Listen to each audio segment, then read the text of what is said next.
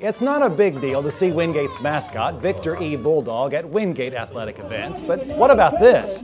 Our cameras caught Victor E. getting down in a mascot dance off at an elementary school in South Charlotte.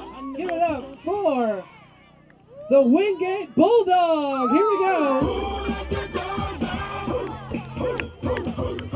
That's right, Victor E. in action at Polo Fest, a fall festival at Polo Ridge Elementary School in South Charlotte. We're so glad to have the Wingate Bulldog here.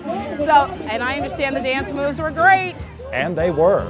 Victor E. had some tough competition in the mascot dance-off, going up against the Chick-fil-A cow, Manny the Blue Baboon, and Tony the Pony from Polo Ridge.